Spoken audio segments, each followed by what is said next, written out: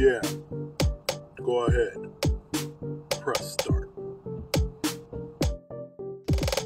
Jackson P. Larkin has been a pain in Aaron Stone's side. And even at Kingdom Come, he was so close in being victorious and being the new C3 Ultimate Urban Culture Champion. But even though he came up short, he still shows that he's not only a young bull, but has the power of a stampede. Who can stop the young upstart roughshot by pressing start?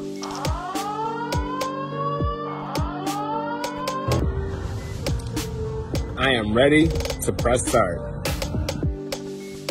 Jackson Stampede Larkin versus Mike.